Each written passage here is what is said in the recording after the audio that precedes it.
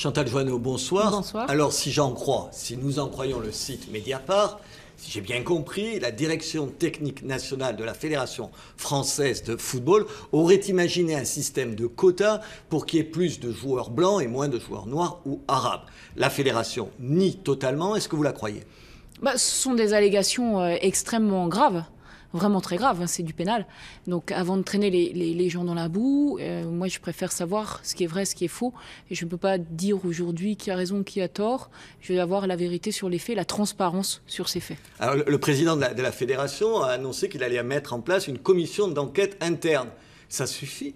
Non, ça suffit pas. Non, non, non. Euh, on aura une mission d'inspection de la jeunesse et des sports, donc une mission qui relève du ministère, qui est indépendante. il n'y aura pas de gens de la fédération? Oh, il n'y aura pas de gens de la fédération. Ils vont travailler parallèlement. C'est normal que lui aussi, il vérifie en interne ce qui se passe. vous ne pouvez pas être jugé parti. Vous êtes d'accord On ne peut pas dire c'est la fédération qui va enquêter non, sur non, la non. fédération. Il y, aura, une mission d'inspection. C'est notre travail et c'est d'autant plus notre responsabilité que le directeur technique national, il est nommé après avis de la ministre des Sports. Donc j'ai donné et récemment mon avis sur sa nomination. Donc c'est normal qu'on vérifie ces faits. Mais votre sentiment, c'est quoi? Vous avez vu, Laurent Blanc a été, il a l'air scandalisé à l'idée qu'on puisse le reprocher des choses comme ça. Vous pensez que c'est imaginable? Moi, je condamne jamais les gens par avance. C'est inimaginable. je, ne veux pas, je veux pas imaginer que ce soit vrai. Vous êtes la ministre, vous les connaissez, enfin. Bah, je, les connais. ils n'ont jamais, jamais, jamais tenu ces propos devant moi. Jamais, heureusement. Sinon, de toute façon, ils auraient eu des nouvelles. Mais ils n'ont jamais tenu ces propos devant moi. Je connais Fernand Duchossois. C'est pas du tout dans son état d'esprit. Maintenant, on va faire la vérité, on va faire la transparence. On va voir ce qui est vrai, ce qui est faux.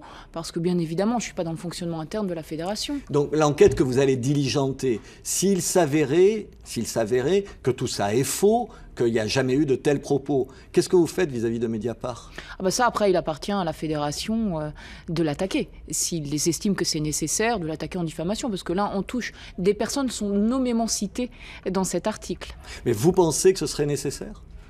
Je de porter plainte en diffamation, ah vous bah, avez si, si, s'il n'y a pas, s'il a pas de faits prouvés, s'il n'y a rien, oui, parce que honnêtement, il y a des personnes, il y a des familles, il y a, il y a quand même une responsabilité. Quand on avance des informations, il faut avoir des éléments derrière. Alors, il y, a, il y a derrière ça quand même deux ou trois problèmes. Le problème, le premier, c'est les binationaux. Enfin, j'essaie d'expliquer aux gens en, en deux minutes. Il y a des gens qui arrivent ici, qui ont une double nationalité, française et une autre, qui sont en gros formés pendant des années et qui peuvent ensuite décider, ils ont jusqu'à 21 ans, d'aller jouer en gros pour une autre sélection nationale. Mmh. Est-ce que c'est pas un peu choquant d'une certaine façon? Non. Parce que ça, vous choque pas, non, vous? parce que ça, ça existe dans tous les sports. Regardez nos joueurs français qu'on forme et qui partent pour le basket, qui vont jouer en NBA. Regardez Néné au PSG on est content d'avoir Néné au PSG quand il marque des buts. Donc non, ça, ça ne me choque pas. Attendez, je ne vous parle pas de ça, Madame la Ministre. Je parle des gens qui vont dans d'autres sélections et qui peuvent se retrouver face aux Bleus. Il y a quand même quelque chose. En gros, vous payez pour les former, ensuite vous les avez contre vous. Mais le sport, c'est pas une question d'argent. La vertu du sport, c'est d'être un lieu de cohésion à l'échelle nationale comme à l'échelle internationale. C'est d'être universel. Ça me gêne absolument pas de former des champions. Et ça vous choquerait si Laurent Blanc, il avait trouvé que ça posait un problème? Moi, ce qui me gêne, c'est de former des personnes sans leur donner, leur transmettre les valeurs du sport. Quand vous portez le maillot de notre équipe, vous respectez les valeurs de la France et vous respectez la France. C'est ça le seul sujet qui vaille la peine d'être posé. Donc sur les problèmes des binationaux, il n'y a pas de problème pour vous. à vos yeux, il n'y a aucun problème. Et s'il y a des gens à la fédération qui pensent qu'il y a un problème, ils se trompent. J'estime que c'est un mauvais procès.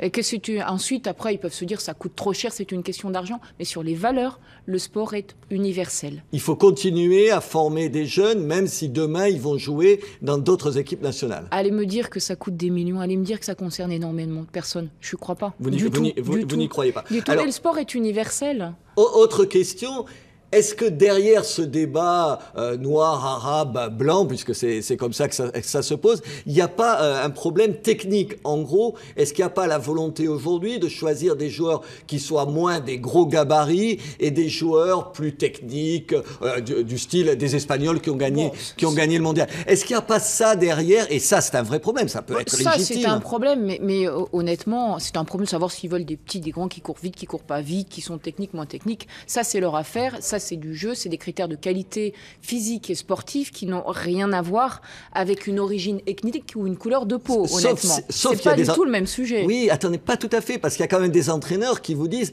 Ah oui, mais les Noirs, ils sont plus résistants, ils, ils sont plus forts physiquement, et donc on a besoin d'eux à un moment donné. Et aujourd'hui, puisqu'on a besoin d'autres types de joueurs, on a moins besoin de Noirs. Est-ce qu'on passe vite de critères techniques, vous voyez ce que je veux dire, à des critères ethniques Est-ce qu'on peut pas passer d'un à l'autre? euh, Honnêtement, c'est un mauvais habillage. Euh, on passait de l'un à l'autre, c'est un très mauvais habillage, c'est un très mauvais argument.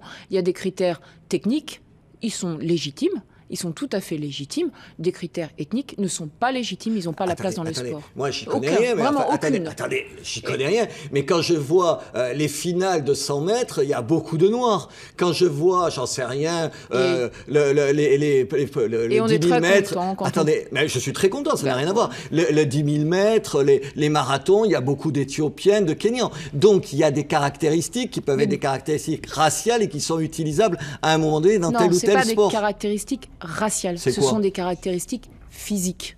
Voilà. Ah ce sont des caractéristiques physiques. Après, chacun, évidemment, a des qualités différentes, mais ce sont des caractéristiques physiques. Donc, on peut choisir des joueurs qui sont par plus exemple, ou moins, ou moins athlétiques. Pour, faire pour avoir fait un marathon, je peux vous dire qu'effectivement, manifestement, il court beaucoup mieux. Mais on peut choisir des critères qui sont des critères, effectivement, techniques, physiques, mais pas les lier à des critères ethniques. Mais ils le sont de fait. Mais ils le sont de fait. C'est parce que, vous parce que c'est difficile à manier, parce que je vois bien, vous et moi, on peut être vite gênés par ce ce raisonnement-là, mais, en même temps, il existe. ça n'a pas sa place dans le sport, vraiment. Ça, ça a place dans la vie, euh, c'est autre chose. Le sport, c'est un lieu de cohésion.